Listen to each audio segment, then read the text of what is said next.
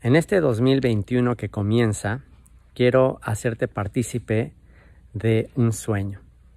Y quiero con este video mostrarte que es posible que aún en tiempos difíciles como los que vivimos, es posible eh, cumplir los sueños.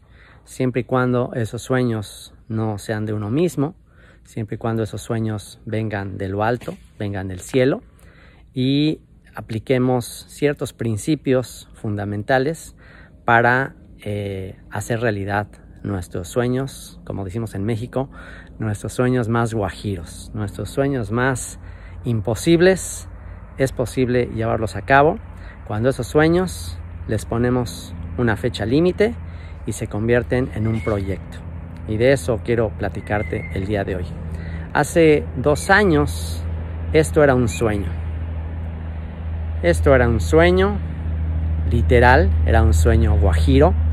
Eh, los que conocen de este ministerio de Descubre la Biblia saben que yo soñaba con tener un lugar eh, fuera de Israel, un lugar donde aquellos que no tenían posibilidad de llegar a hacer un paseo, un tour por Tierra Santa, eh, pudieran tener un lugar más cercano, pensando en gente de Latinoamérica, un lugar más cercano donde pudieran venir a recrear la vida, la época de nuestro Salvador Yeshua, conocido como Jesús de Nazaret entre las naciones. Y bueno, pues yo soñaba con tener un lugar donde te pudieras meter a una máquina del tiempo y pudieras imaginarte cómo era la vida en tiempos de Yeshua, cómo eh, era el lugar donde él en cada día de reposo él enseñaba, yo soñaba con eso y bueno, pues eh, en esa época que tuve oportunidad de trabajar en una réplica de sinagoga como esta en Nazaret, en Israel, soñaba con algún día tener un lugar como esos, eh, acá en México, en Latinoamérica, accesible para todos los que somos vecinos de este mensaje de restauración en Latinoamérica. Y bueno, era eso, era solamente un sueño, era solamente producto de mi imaginación. Y en el momento que se le puso una fecha límite, se consideró un proyecto, comenzamos a orar, bueno, pues vimos que era posible y bueno, pues ahora ahí la tienes. A los que aún no la conocen, no han entrado, les voy a dar un mini tour rápido por ese lugar y el día de hoy te voy a hacer partícipe de la continuación de este sueño. Así que acompáñame al interior y te voy a mostrar un poquito más de esta que es la única sinagoga del primer siglo fuera de la tierra de Israel. Todas las sinagogas de la época de nuestro Salvador Yeshua eh, fueron destruidas. En realidad la única réplica que existe está en Nazaret, en el lugar donde él creció, donde él se crió. Eh, y eh, esa sinagoga, esa réplica se hizo en base a las ruinas de otras sinagogas. Y bueno, pues esta sinagoga se hizo como réplica de esa que está en Israel. Así que ahora ya sin tener que eh, saltar el charco, sin tener que eh, cruzar el océano, ahora tú puedes llegar aquí en el continente americano y visitar esta sinagoga del primer siglo, un verdadero milagro que se haya llevado a cabo. Y bueno, te voy a enseñar un poquito del interior y después te platico la continuación de este sueño. Acompáñame. Y bueno, pues bienvenido al interior del cumplimiento de este sueño hecho realidad. Aquí tenemos la réplica de esta sinagoga del primer siglo, la única en todo el continente de América. Aquí estamos viendo el cumplimiento de lo que comenzó con un sueño. Aquí ya no tendrás que usar solamente la imaginación, sino aquí ya podrás ver, palpar cómo era una sinagoga en tiempos de Yeshua, cómo eran los instrumentos musicales en la época del rey David. Podrás imaginarte al rey David componiendo los salmos, podrás eh, tener un destello de cómo era un culto, un servicio en una sinagoga donde nuestro Salvador cumplía las palabras de este libro de la ley, de la instrucción divina y de todos los profetas. Y te transportarás en una máquina del tiempo a ese lugar donde se dijeron palabras que ahora se están cumpliendo ante nuestros ojos.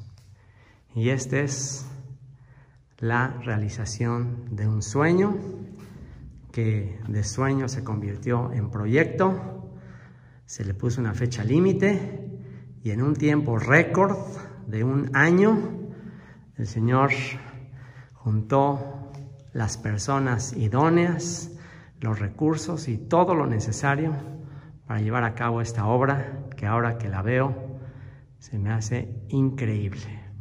Pero ya que me di cuenta que es posible llevar a cabo los sueños cuando vienen de los cielos, pues ahora quiero invitarte a ti a participar en la continuación de este sueño.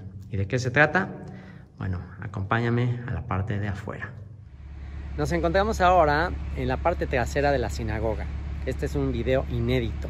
Prácticamente no habíamos hecho videos de la parte trasera de la sinagoga y bueno, pues es desde este lugar donde ahora te voy a platicar la continuación del sueño, porque bueno, ya está ahí la realización, fue posible, esa es la joya, ese es el atractivo principal de este lugar, pero eh, aún falta mucho por hacer.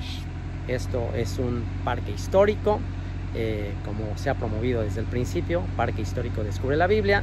Esa es la cereza del pastel, ese es en gran parte el clímax de toda esta experiencia, pero ¿qué falta? ¿Y a qué te quiero invitar a soñar conmigo?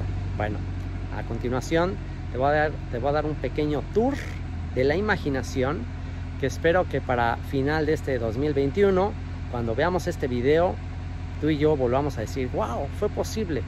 Una vez que se le puso fecha límite, una vez que se convirtió en proyecto y oramos, bueno, pues entonces sabremos si este sueño vino del cielo o pues una vez más este mexicano seguirá teniendo sueños guajiros.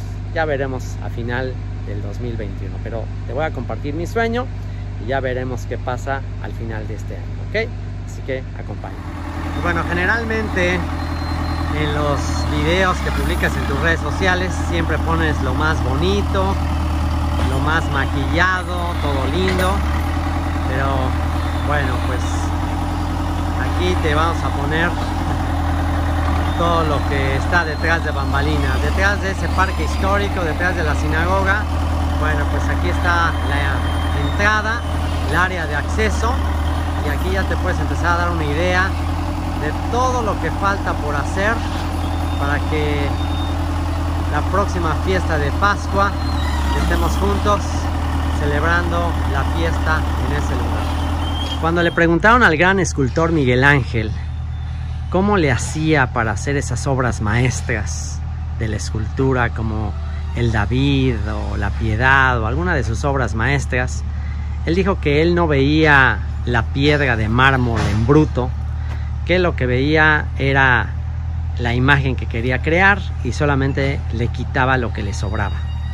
Bueno, siguiendo ese ejemplo de Miguel Ángel, en este eh, lodazal, yo lo que estoy viendo es el lobby de entrada al parque histórico. Descubre la Biblia. Este es el lobby. Aquí en este lugar va a estar un kiosco con recuerditos, con souvenirs del parque histórico. Eh, en esta área de aquí. Aquí van a estar unos baños para que la gente llegue y aquí entre después se lave las manos muy importante en la época que vivimos lavarse las manos. Y después va a comenzar por aquí el recorrido.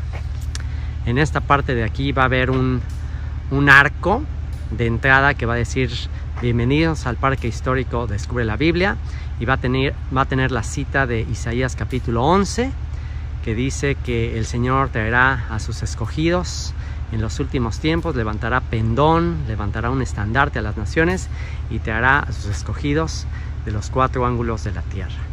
Y aquí oficialmente la gente entrará al parque histórico, aquí un guía les recibirá, un guía obviamente vestido con ropa de la época, ropa de hace 2000 años y en este lugar, de este lado, tendremos una vista de el jardín del Edén, una vista del Génesis. Y por cuanto este es un parque histórico de Descubre la Biblia, vamos a recrear en este terreno eh, un recorrido a través de toda la Biblia. Así que eh, con esto vamos a ilustrar el libro de Génesis. Ahí estará el jardín del Edén, los riachuelos, los árboles frutales, los árboles con flores agradables a la vista. Todo eso lo tenemos aquí para exhibirlo.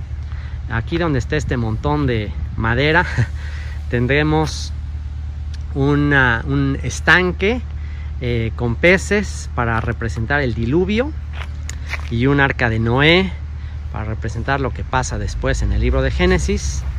Aquí donde están estos tabiques tendremos una réplica de la torre de Babel. Y bueno pues esto más o menos ahí la llevamos.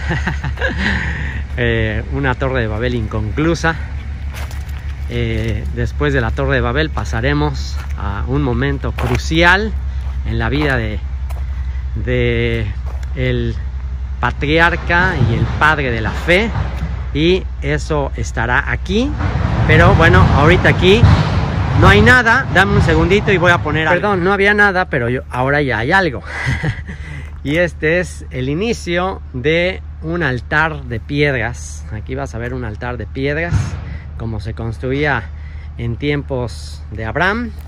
Y aquí vamos a ver la representación del altar donde Abraham iba a sacrificar a su hijo Isaac. Así que aquí pronto lo verás. Después de ese acontecimiento que marca el inicio de la historia de la redención a través de Abraham, eh, pasaremos por este caminito que tendrá unos cuantos cactus y alguna recreación como de la época del éxodo, de la salida de Egipto.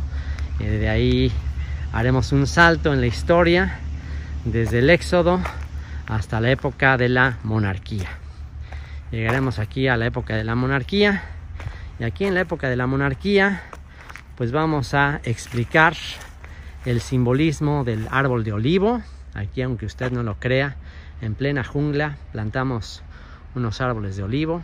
Aquí hay tres árboles de olivo tres de 12 que pensamos poner aquí 12 representando a las 12 tribus de Israel. Y aquí una prensa de olivos. Y aquí comenzaremos eh, a relatar la promesa y el pacto hecho con David de que de su descendencia vendría el rey de Israel y el rey de todo el mundo. De aquí saltaremos hasta la época del cumplimiento, época de Juan el Bautista, época de los primeros cristianos eh, siendo purificados y haciéndose parte de la nación del pacto ya tenemos aquí la recreación de un mikve del primer siglo, un baño ritual que como pueden ver todavía hay mucho trabajo que hacer. Y bueno, pues en esta sección están ustedes viendo una aldea judía del primer siglo. Aquí tendremos un lagar donde se producía eh, el vino, Aquí tendremos una jupá para representar cómo eran las bodas en aquella época. Aquí tendremos un corral de ovejas y unas cuantas gallinitas. Aquí tendremos un taller de carpintería y una casa de piedra, eh, como eran las casas en el primer siglo. Aquí tendremos un sistema de terrazas de agricultura, como se sembraba en el primer siglo, donde podemos explicar la parábola del sembrador.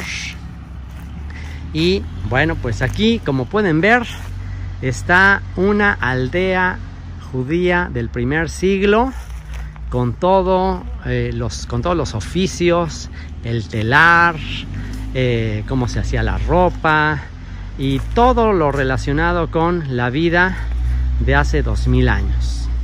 Para que tú cuando llegues aquí te transportes, eh, se te explique en este tour la historia de la redención, la historia del Salvador del mundo, el Hijo de David. Y después de que recibas esa semilla, la semilla de la palabra, y que oremos porque produzca fruto, cual 30, 60 y 100 por uno, pues entonces como cierre entraremos a la sinagoga donde recrearemos el capítulo 4 de Lucas, donde el hijo de David, Yeshua de Nazaret, entró a la sinagoga y habló de que él había venido a cumplir todas las profecías.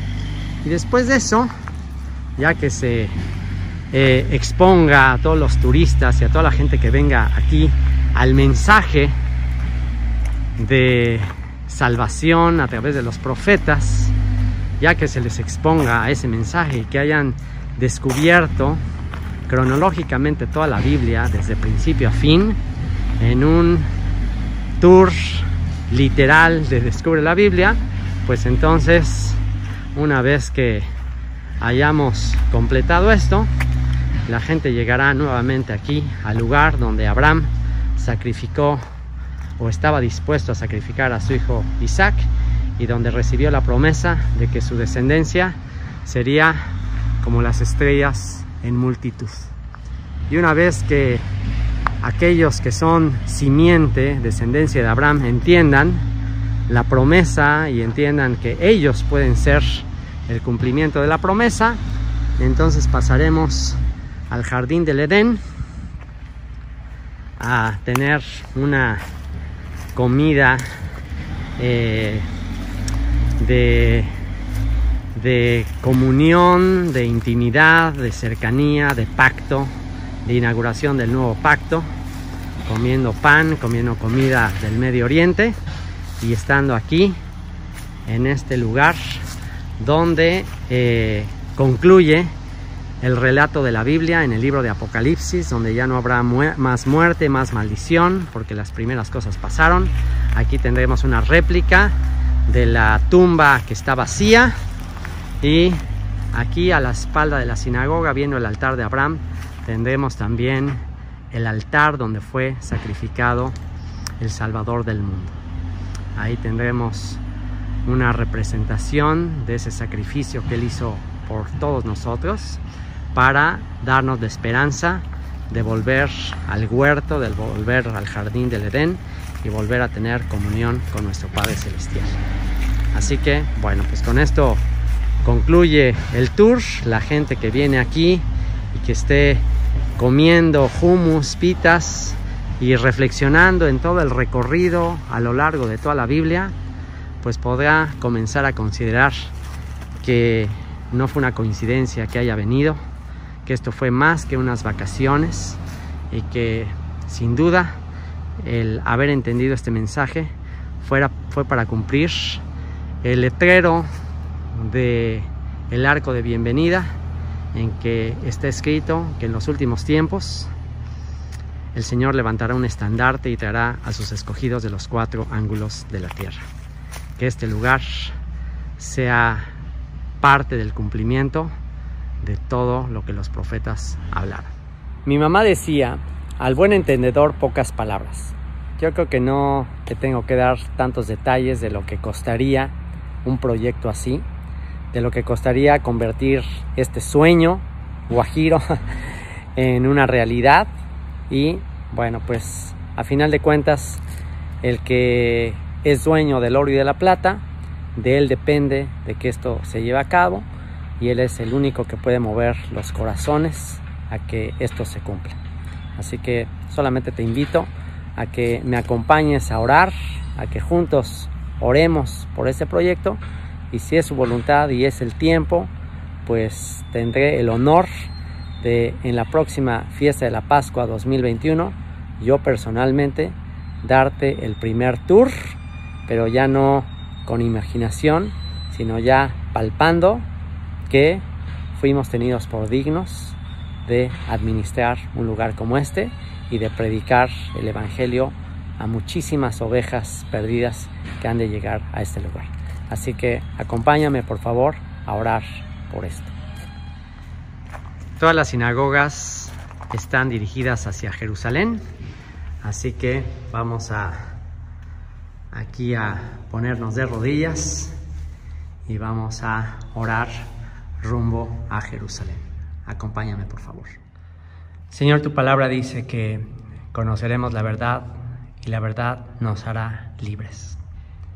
Si este lugar te sirve, Señor, para poder liberar a tu pueblo de tantas tradiciones, de tantos dogmas de hombres que no son conforme a tu palabra, si este lugar, si todo este proyecto te sirve para que ovejas tuyas puedan descubrir el mensaje de la Biblia y entenderlo como nunca antes, Señor, aquí estamos. Esta es una oportunidad que tenemos, Señor, de hacer tesoros en los cielos, de invertir para que este Evangelio del reino se predique a todas las naciones. Qué lugar tan privilegiado nos has dado, Señor, en esta zona turística de México. Y Señor, si gente que viene acá por cuestiones turísticas, temporales, puede tener un encuentro con tu mensaje de salvación en este lugar, Señor, a través de todo lo que vamos a compartir en este lugar. Señor, danos visión. Ayúdanos, Señor, a estar dispuestos a invertir de lo que es tuyo, Señor, y hemos recibido de tu mano. Y ayúdanos a entender que todo lo demás se va a quedar aquí, Señor. El día que partamos contigo, todo se quedará aquí. Todo este lugar se quedará lo único que podemos llevar a tu presencia son las almas de aquellas personas que descubran su identidad y su herencia en este lugar, Señor. Esto solo es un recurso didáctico, educativo, para que multitudes libres de prejuicios o de moldes religiosos puedan volver al origen y puedan entender el mensaje de los profetas. Señor, Aquí están nuestros dos peces y nuestros cinco panes y solo tú eres capaz de multiplicarlos para alimentar a las multitudes hambrientas.